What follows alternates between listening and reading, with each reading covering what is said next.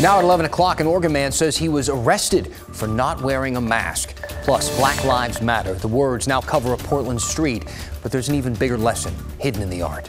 And later, restaurants get creative to keep customers separated during the pandemic. This is KGW News at 11. Thank you for being here with us tonight. I'm Dan Haggerty. We're going to start with several moves aimed at stopping the spread of COVID 19, and all are facing some backlash tonight. First, plans for an isolation center in the town of Woodburn. Those who have tested positive for the virus but don't need hospital care could go there to quarantine themselves. Mike Benner found out critics are very worried about the location.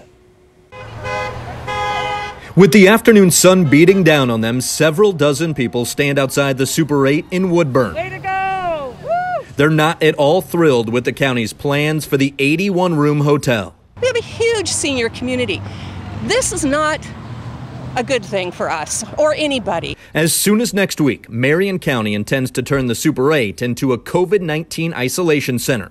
Anyone who may have been exposed to the virus or has a mild case of it and has nowhere to go can stay at the isolation center. For instance, farm workers or those under the supervision of parole and probation. The biggest concern I have is is the fact of where they're proposing to have this facility. And that deals with proximity to vulnerable populations here in Woodburn, which is a senior community. And I, if you've been to Woodburn, that area that they want to locate this in is literally senior estates. The whole area around that is senior estates. So their safety, not only from a you know, a COVID perspective, but for also for public safety. Eric Morris, who sits on the Woodburn City Council, is also frustrated with the process. He says the county snuck this through with little, if any, public input. It's a blind spot on my part that I didn't communicate this earlier because we've been going really fast on a lot of things. Marion County Commissioner Kevin Cameron acknowledges how fast things have moved, and he's sorry. He also understands the fears and concerns over the isolation center, but says there's nothing to worry about. What this facility is, is a place where people will be quarantined. They will be self isolating for two weeks, 14 days. They won't come out of their rooms. Uh, they will be in their rooms. We will have security on premise. At the end of their 14 days, we will provide transportation to take them back exactly where they belong, whether that's in a mission or back to their farm where they're working they won't be wandering the streets they won't be you know free to just go wherever they want to i have doubts that they are going to be able to um, do what they're promising to do as you can see there's a large number of people not buying what the county's selling they're hoping the city can put a stop to it. It's very fair to say that our our efforts in protecting our community here are at risk. According to the Woodburn City Administrator, operating an isolation center inside the Super 8 may be illegal due to current land use laws. The City Council is pledging to go after the county. We'll, of course, follow this to see how it all plays out. I'm Mike Benner for KGW News.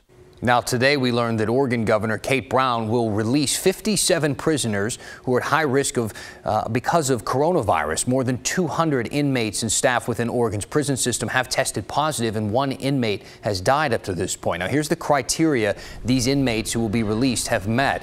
They are medically vulnerable, they have served most of their sentence, and they did not commit crimes against another person. State lawmakers have called on the governor to release far more people, submitting a plan that would qualify thousands for early release and make it easier for people to socially distant, stay socially distant inside prisons, the people who remain. The governor's office said she does not have any plans for any further action right now. Washington's mask requirement kicks in tomorrow. Now, unlike Oregon's, which just applies to seven counties, Washington's rule is statewide. It applies to indoor public spaces like stores and offices and restaurants, but they're also required outdoors when social distancing is not possible. Enforcement of the mask mandates have become pretty murky. Sheriffs have said that they don't really have the capacity to go around following up on complaints. Oregon's governor has said that she hopes enforcement isn't needed, and some individual jurisdictions have their own kinds of guidelines. But in the small town of Sweet Home, a man says his refusal to wear a mask landed him in jail. Catherine Cook has the story.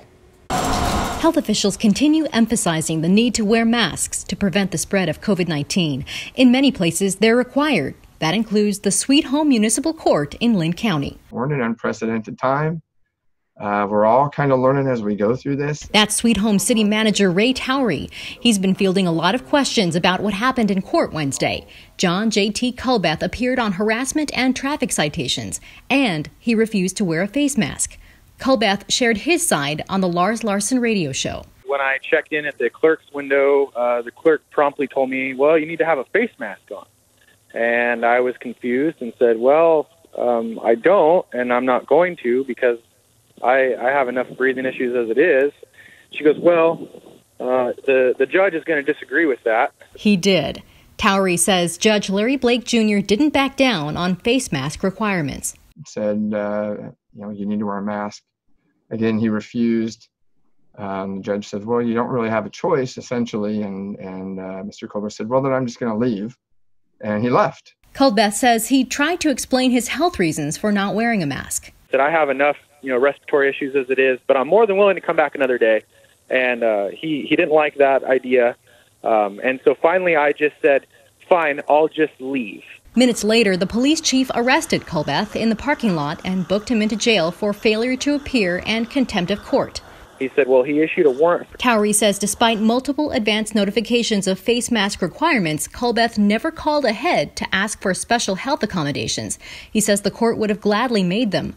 But was two hours in jail necessary? I think he was acting within the scope of his authority and, and, uh, like As a municipal court judge, putting right. someone in jail for not wearing a mask is in the scope of his authority?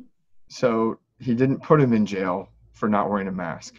He put him in jail for failure to appear. He left and for contempt. He left right in the middle of the hearing, left during the interaction with the judge, and, and walked out. So, was not wearing the mask part of the issue that that certainly elevated this to the situation that it's become? Absolutely. Judge Blake arraigned Culbeth in jail and set his next court date for July 22nd. Culbeth says the judge was clear. When you come back on July 22nd, if you're not wearing a face mask, or you don't have a doctor's note saying you're not legally required to wear a face mask, you're going to go to jail. Catherine Cook, KGW News. There's a guitar riff there. It must have been on Lars's show.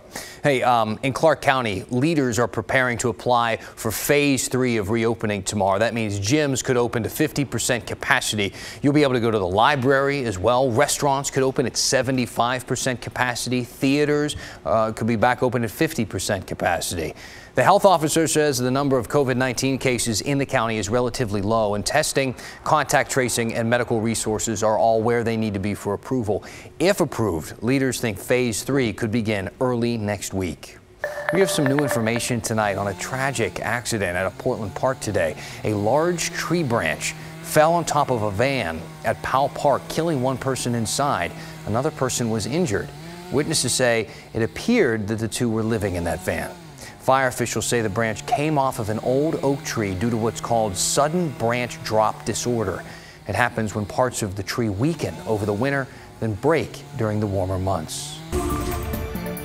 Today marks one month since George Floyd was killed by police in Minneapolis. In that time, we've seen massive protests in Portland and cities across the country.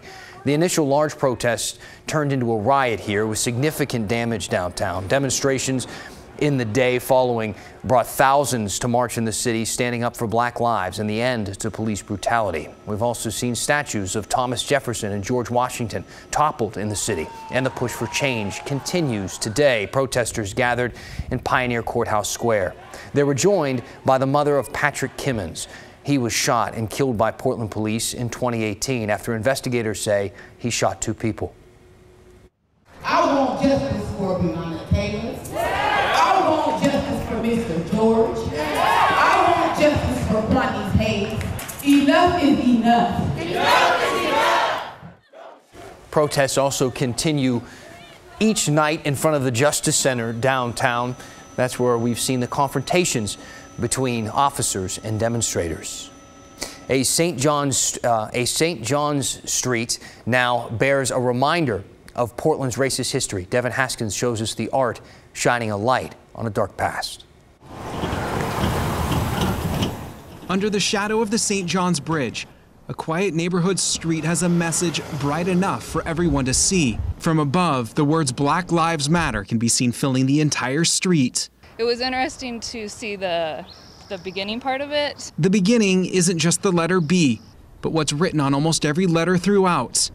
And after seeing it on Facebook, Tiffany and her mom, Sherry, came to see it in person. There are a lot of other things written on the yellow that I knew nothing about. So it was really an education for me as well as pride that somebody took the time to write it down. Because we need to know where we've come from so we don't repeat it. It is a brief glimpse looking at Portland's history of racism from 1800 till now. We are all a part of history. You can find your birth date somewhere between these letters and see that the story continues. The story of art was conceived by Nick Lloyd.